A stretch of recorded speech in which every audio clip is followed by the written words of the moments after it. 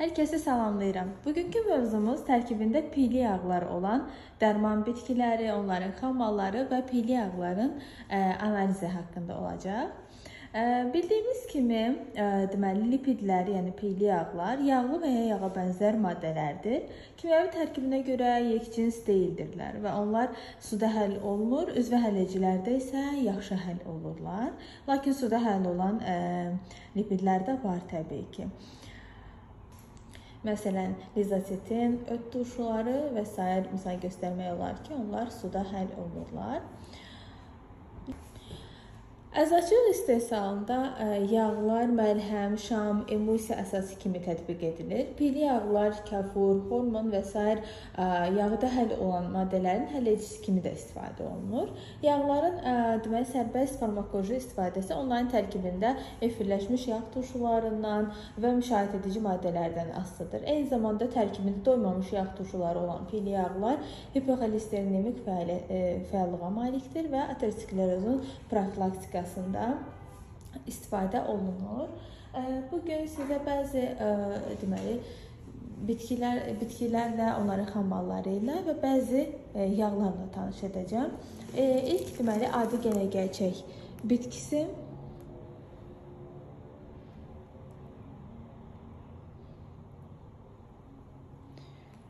Adi gənəgəlçəyin toxumundan efir üzr istəyirəm, piyli yağlar alınır. Digər bir bitki zeytun bitkisidir.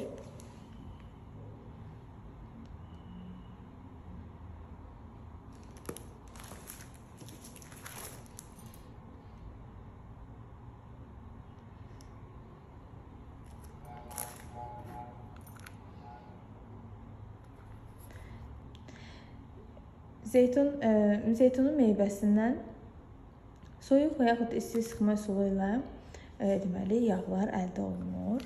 Növbəti bitki şərq fıstığı bitkisidir. Və bəzi yağlarla sizi tanış etmək istəyərdim.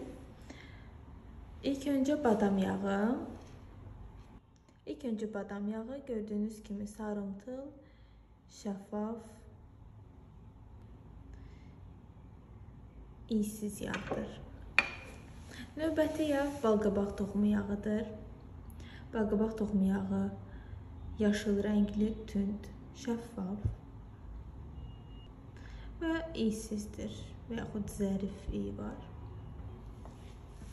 Növbəti bitki küncüt, e, küncüt yağıdır. Küncüt yağı da zərif, zəif, açıq sarı, sarı rənglidir. Küncüt yağının özünə məxsus xarakterik iyi var. Növbəti bitki yenə gərçək yağıdır. E, analizlərdə xüsusilə diqqət yetirəcəyik yenə gərçək yağına, çünki digər yağlardan nisbətən fərqlidir. Və sonda e, zirə yağı, qara zirə yağı. Qara zirə yağının olduqca xarakterik iyi vardır və şəffaf. Sarı rənglidir, daha nisbətən tünd rəngli olan yağlar da vardır.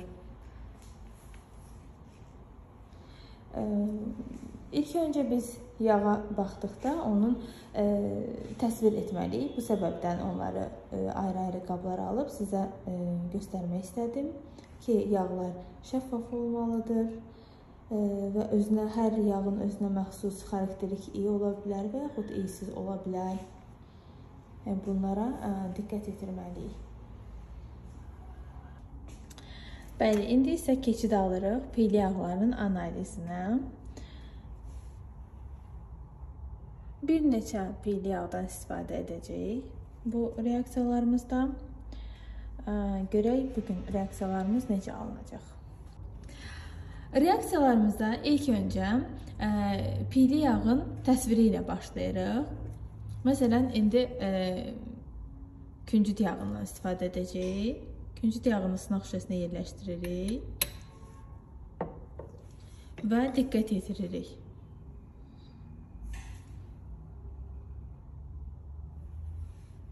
Və diqqət yetiririk. Yağ şəffafdır, e, sarımtıl rənglidir. yağa bənzər mayedir. İynədə baxırıq. Zəif e, xarakterik iylidir. Yəni küncüdə xas xarakterik iyi var zəif şəkildə. Və dediyimiz kimi şəffafdır. Bu xüsusiyyətləri ilk öncə qeyd edirik. Daha sonra digər orqanleptik xüsusiyyətlərə nəzər yetirəcəyik. Məsələn, həll olmasıdır və yaxud ədədi göstəriciləridir. Bəli, bildiyimiz kimi efir yağlarından fərqli olaraq piyli yağları e, filtr kağızına e, bir damla əlavə etdikdə və qızdırdıqda e, piyli yağ əlavə etdiyimiz e, deməli ləkənin diametri daha da artır. Efir yağı isə uçur. İndi e, bu həmin reaksiyanı müşahidə edəcəyik. Bəli, bir damcı piyli yağdan filtr kağızına damızdırırıq.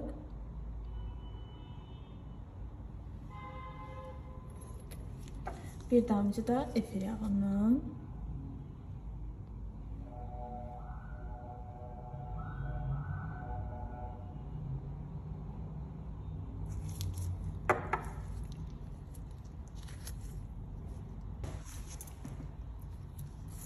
Və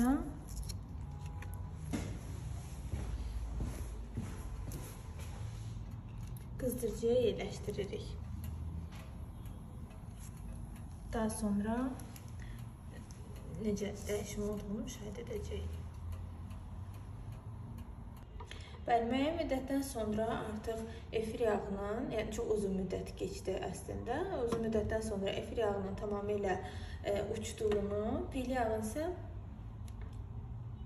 qoyduğumuz e, deməli damladan daha iri, e, yəni olduqca geniş yayıldığını görə bilirik. Bəli, keçid alırıq növbəti reaksiyaya. Bildiyimiz kimi, piyli yağlar praktik olaraq suda həll olunur, spirtdə az həll olunur, efirdə, xloroformda, petrolin efirində asan həll olurlar. Lakin burada ə, e, yağı müstəsnalıq təşkil edir. E, belə ki, o spirtdə asan, e, petrolin efirində isə çətin həll olur və yaxud xloroformda isə çətin həll olur. İndi bu xüsusiyyəti biz müşahidə etməyə çalışacağıq. Bəli, 1 ml adi zirə yağından istifadə edəcəyik. 1 ml adi zirə yağını sınaq şüşəsinə yerləşdiririk. Və 1 ml yenə gerçək yağını digər sınaq şüşəsinə yerləşdiririk.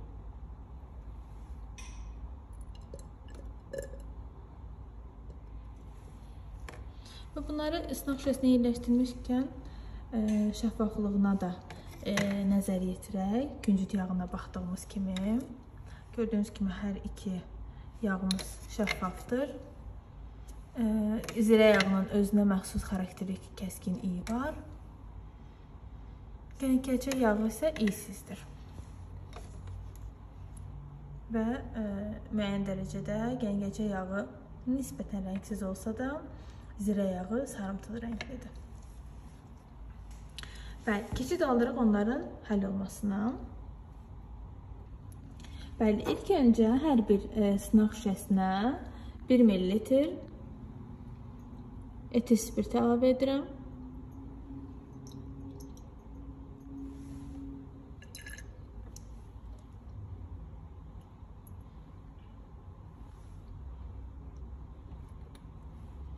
Və yaxşıca çalxalayırıq.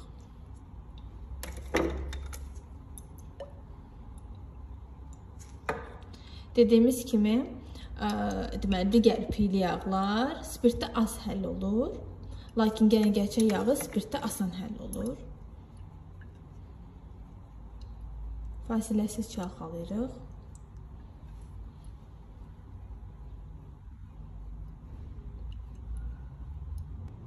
Hər iki nümunəmizi 20 dərəcə Selsi temperaturda su hamamında fasiləsiz çalxalayaraq həll edirik.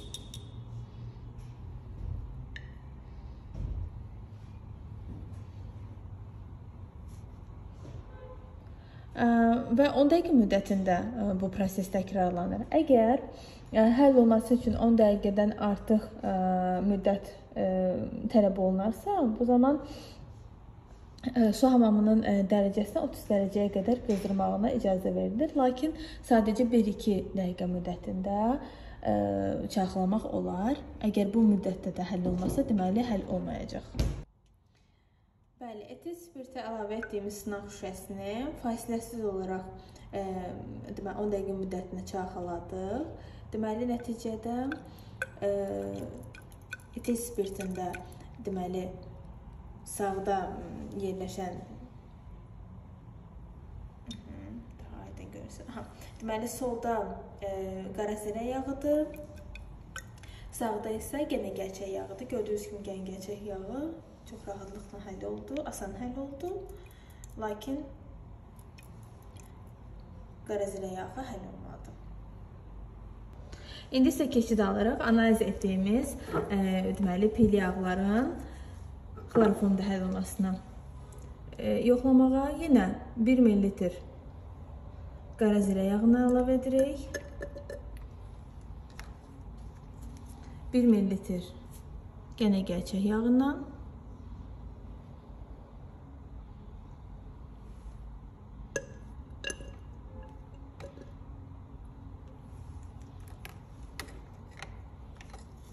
və hər birinin üzərinə 1 ml xloroform əlavə edirik.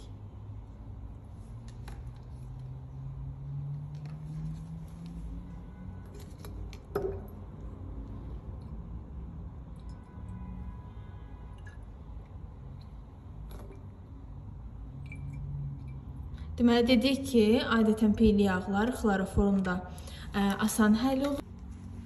Bəli, hər iki yağ deməli xloroformda olduqca asanlıqla həll oldu. Gerçək yağı da asan asan həll oldu. İndi isə petrolin efirini nəzərdən keçirək. Yenə eyni qaydada deməli 1 ml fil yağdan yəni daha doğrusu zirə yağından 1 ml gəlin gerçək yağından əlavə edirik sınaq şüşəsinə.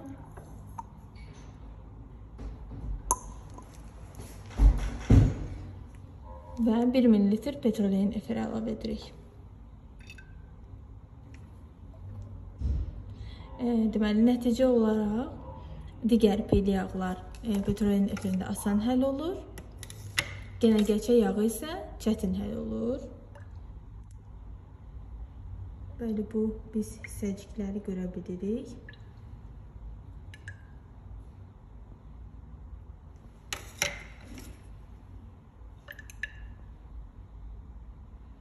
Lakin bu olduqca şəffaf oldu və çox tez bir şəkildə petrolin efirində həll oldu.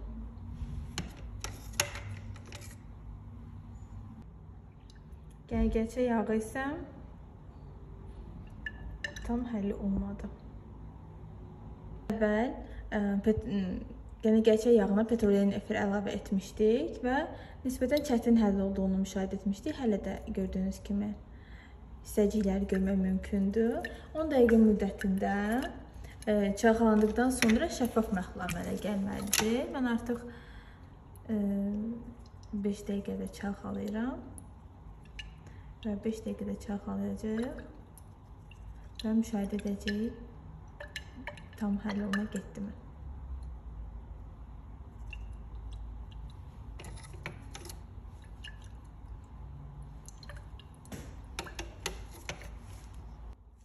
İndi isə keçid alırıq növbəti ə, e, reaksiya. Bu reaksiya parafin, mum ə, e, və qatran təyini adlanır. Belə ki, 1 ml peyli yağa 10 ml 0.5 0.5 mol kalium hidroksid spirtdəki məhlulu əlavə ed edəcəyik. Fasiləsiz çaxlayıb qızdıracağıq və tez bir zamanda sabunlaşma ə, e, baş verməlidir.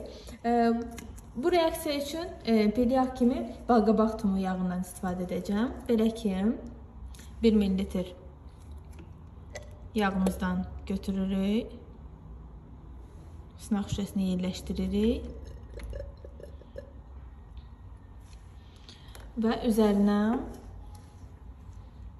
10 ml 0,5 mol kalium hidroksidin məhlulu əlavə edirik. Spirtdəki məhluldur bu. Qeyd etmək istəyirəm ki,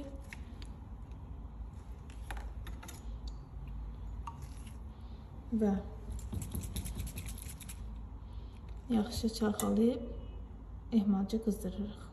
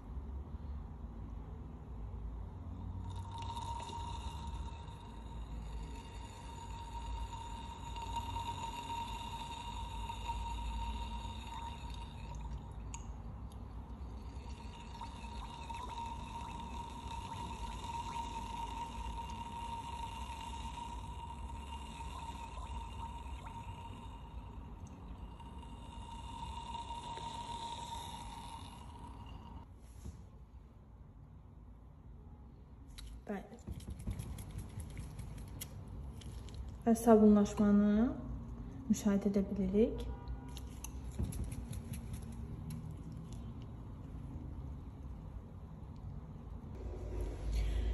Növbəti reaksiyamız sabunun təyini adlanır. İnyeksiya inyeksiya üçün məhlul hazırlamaq hazırlanan zaman istifadə edilən piyli yağlardan başqa digər pil yağlarda sabunun olmamasını yoxlamaq üçün bu reaksiyadan istifadə olunur. İlk öncə 10 damcı e, daha doğrusu 10 damcı fenolftalin əlavə etmiş 50 ml su lazımdır bizə e, və buna 250 ml konus şəkilli kolba yerləşdirməliyik. İlk öncə suyu konus şəkilli kolba yerləşdiririk. 50 ml su, distillə suyunu.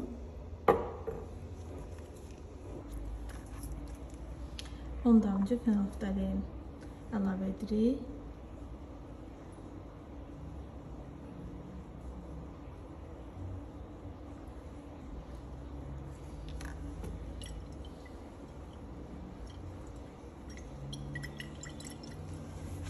Və salonuna, salonunda bir dəqiqə müddətini qaynatır.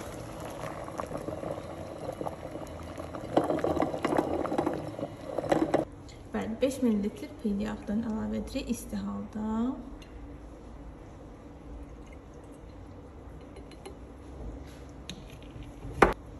Bəli, isti halda əlavə etdikdən sonra daha 5 dəqiqə qaynatmalıyıq.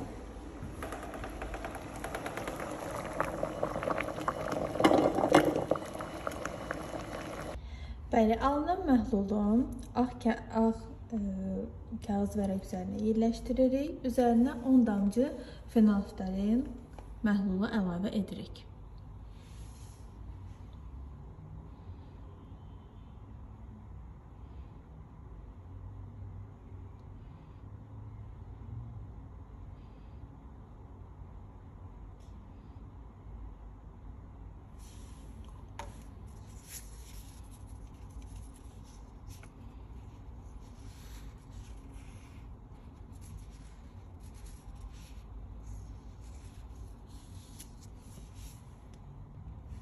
Deməli, alınan məhlul şəffaf ə, e, rəngdə olmalı idi. Lakin gördüyümüz kimi e, nisbətən rəng şəffaflaşdı, amma tam şəffaflaşmadı. Bu da yağın tərkibində sabunun olmasını göstərir. Yəni əgər şəffaflansa, şəffaflaşsaydı, bu göstərici deməli sabunun olmaması və yaxud 0,1%-dən az olmasını göstərəcəkdi.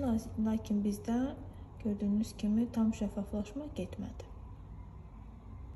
Növbəti reaksiyamız ə, e, toxumların tərkibindəki yağa reaksiya, yəni Bellier reaksiyası adlanır. Ə, e, belə ki, sınaq şüşəsinə 2 ml tədqiq, tədqiq edəcəyimiz yağı əlavə edirik. Ə, e, bu reaksiyada bu reaksiyamızda badam yağından istifadə edəcəyik. Belə ki, 2 ml badam yağını sınaq şüşəsinə yerləşdiririk.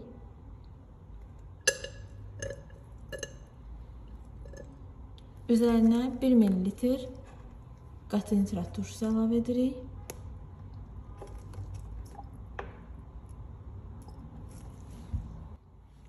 Bəli, 1 ml qatı nitrat turşusu əlavə edirik.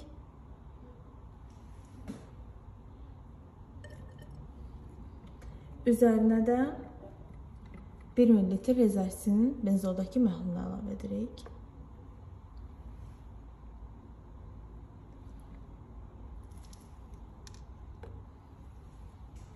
Və sınaq şüşəsini yaxşıca qarışdırırıq.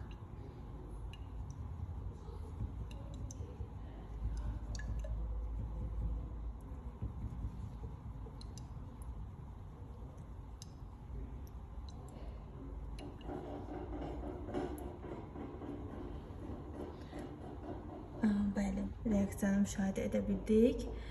Deməli, nəticəsi budur ki, toxumlardan alınmış piyli yağlar tezliklə 5 saniyə müddətində qırmızı və ya göy bənövşəyi boyanma verir və biz göy bənövşəyi boyanmanı müşahidə edə bildik.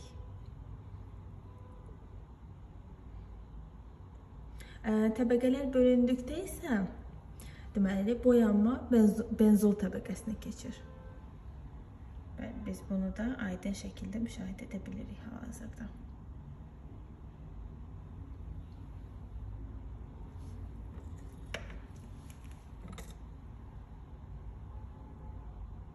Növbəti reaksiyamız Biberg reaksiyası adlanır və bu çərdək peyli yağlarına aid reaksiyadır. Belə ki, deməli sınaq şüşəsinə 2.5 ml peyli yağ əlavə edəcəyik. Üzərinə isə deməli bərabər həcmdə hazırlanmış su, qat sulfat turşusu və qatı turşusu qarışığı əlavə edəcəyik. İlk öncə bu qarışığı hazırlayaq. Deməli hərəsindən 1 ml 1 ml 1 ml turşusu.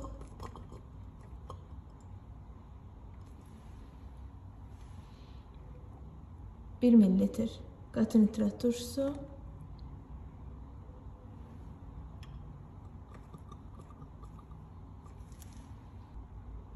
Və 1 mililitr su əlavə edirik. Qarışdırırıq. Qarışığımız artıq hazırdır.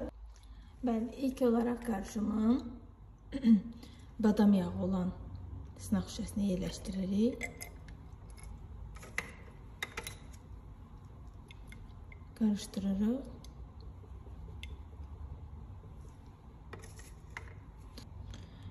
Bəli, zəif sarı rəngin müşahidə olunması badam yağı üçün xarakterlikdir.